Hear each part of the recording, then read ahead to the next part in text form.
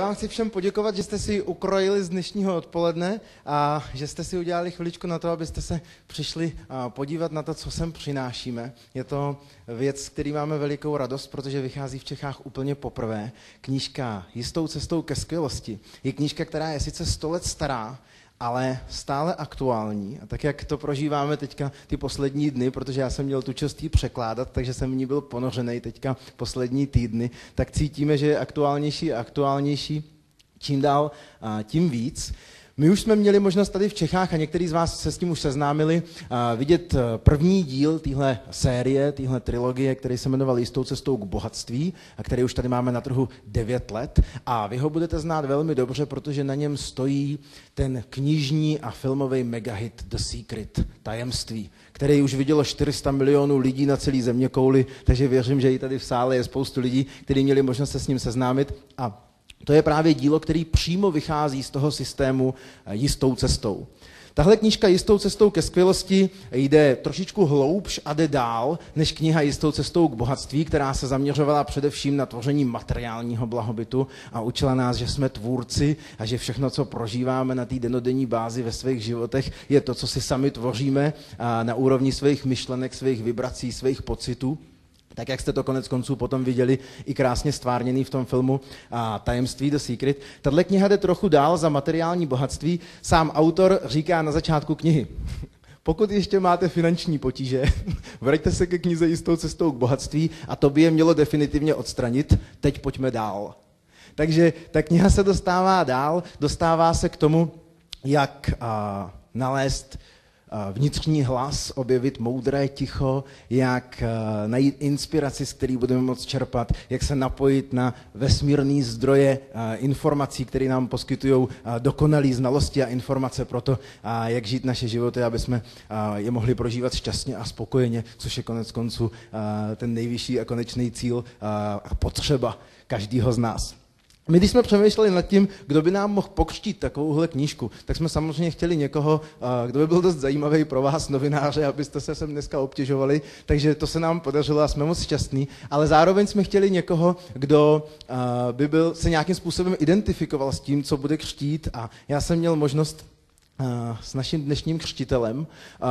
O téhle knižce popovídat už e, teďka v týdnu a byl jsem rád, e, že se mu líbila, že rezonovala nebo korespondovala s jeho světonázorem, jak pevně doufám. My jsme přemýšleli, kdo by to měl pokřtít a protože Jana Křtitele už eh, jsme prošvihli o nějakou dobu, tak jsme vymysleli Jardu Křtitele. No? A protože Jan Křtitel trávil nějaký čas na poušti před tím výkonem, tak Jarda se tím nechal inspirovat a 26 dní se postil, takže je na to dneska velmi, velmi dobře připravený a já se těším na to, že se nám bude chviličku věnovat. Jardo, já tě poprosím.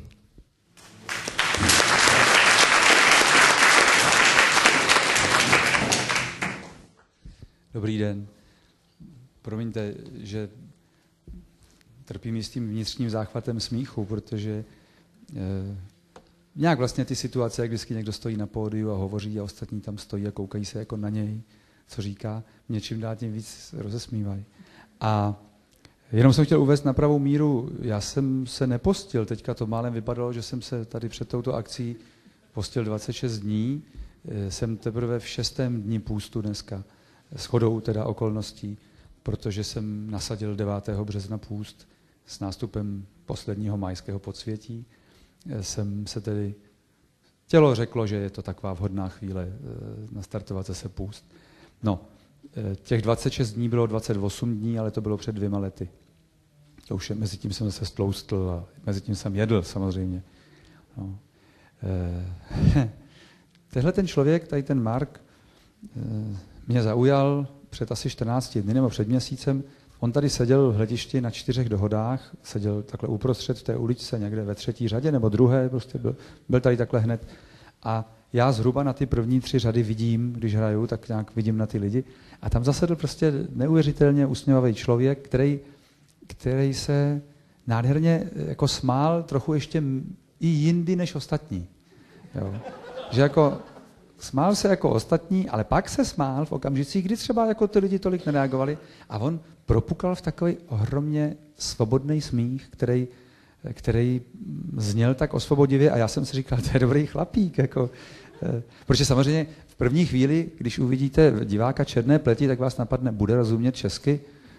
Jo? Co z toho bude mít? Něk, někdo přivedl nějakého svého známého, chtěl mu to... Protože to se taky tady stalo, že jsem přivedli nějaké cizince v domění, že budou mít velký zážitek a tak. Pozor, ty si nakopl mikrofon. A to, to byl zvuk Markových nohou. E, a tak mě jako zaujal, jak tady reagoval na to všechno. No a když jsem vycházel ven ze sálu, tak on mě tak jako zachytil, povídali jsme si chvilku a pak mě tak jako ještě doběhl na té ulici nějak, že jo. Mě tak jako doběhl, opravdu mě doběhl a e, říkal, jestli bych křtil nějakou knížku, že jo. Tak já jsem jenom poprosil, aby mi z toho nějaký úryvek poslal, protože nechci křtít knížky, které jsem nečet. To mi připadá divný, že jo. To, to by asi tak být nemělo. A tak jsem četl úryvek, pak jsem četl nějaké kapitoly a musím přiznat, že jsem nad knihou úžasl, protože zejména to datum 1910 jako mě překvapilo. Jednak proto, že ta knížka je aktuální čistě a jednak proto, jak vlastně zase se dotýká přesně toho, o čem mluví toltécké učení, toho základního jádra, toho, co zřejmě možná je, je teďka před námi v rámci toho zvláštního znovu objevování určitých schopností lidí, totiž toho dialogu mezi tou božskou stránkou v každém člověku a tou lidskou. A zrovna včera jsem byl na besedě a tam nějaký člověk říkal, a jak, jak se vyrovnáte s tím citátem, člověk je nicotný proti Bohu? A já jsem říkal, no ano, ale musíme rozumět, co ten citát říká. On říká, že lidská stránka je nicotná proti božské stránce v každém z nás. V každém z nás je vytvořena lidská stránka, ta je tvořena tím přejímáním od ostatních lidí. My se narodíme jako božské bytosti, jako děti, nemluvňata.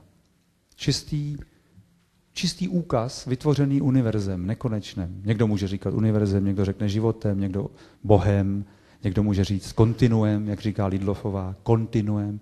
Vytvořený božský přízrak dítě. Objeví se, je to něco úžasného, nemusí mluvit, nemusí nic říkat, nemusí ani nic dělat a přesto jsme šťastní všichni okolo. Jsme šťastní z přítomnosti, z té existence, z čistého bytí toho dítěte. Ono vyzařuje své božství tak silně, že nás osvobozuje. Přítomnost dítěte je pro nás prostě osvobodivá, přináší štěstí, přináší ohromnou energii do té domácnosti. A pak začneme přijímat lidskou stránku. To znamená, ostatní nás začnou učit, vychovávat, ochočovat, Dospělí nám říkají, jak se věci mají, vyprávějí jiným, co a jak se dělá, co je správně a co je špatně. Tohle nedělej, tam to dělej. Z toho si ber příklad. To je tvůj vzor. Kdo bude tvůj vzor? Kdo bude tvůj vzor? Jaký máte vzor? Jaký máte vzor?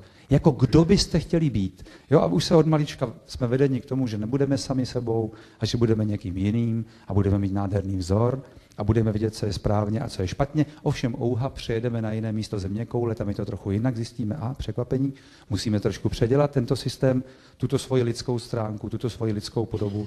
Ocitneme se tu mezi křesťany, tu mezi buddhisty, mezi dalšími nějakými náboženstvími, zjistíme, že to je vždycky trošku jinak, že ta lidská stránka je už vytvořená dohodou, dohodou těch lidí v tom daném teritoriu.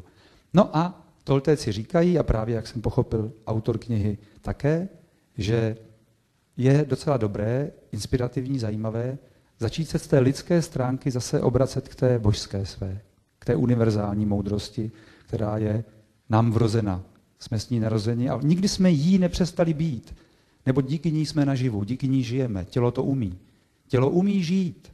Umí to, dokáže to, má, ohromné, má ohromnou moudrost, zvládá spoustu věcí. Ale my často pod těmi starostmi a nánosem té lidské podoby zapomínáme, na ohromnou moudrost svého těla a místo toho to tělo tyranizujeme, terorizujeme, týráme, zacházíme s ním jako s nějakým podivným panákem, nutíme ho třeba kouřit, nutíme ho chlastat. Ono zpočátku nechce, zvrací, jak si dává jasnou informaci, že se mu to nelíbí, ale my chceme kouřit, potřebujeme pít, protože třeba naše lidská stránka si to přeje, ostatní lidé to dělají, všichni to dělají, jsou dospělí, tak to děláme taky, chceme to dělat taky, nechceme vypadnout z toho kolektivu, z těch kamarádů, tak chvíli zvracíme. A pak si tělo zvykne.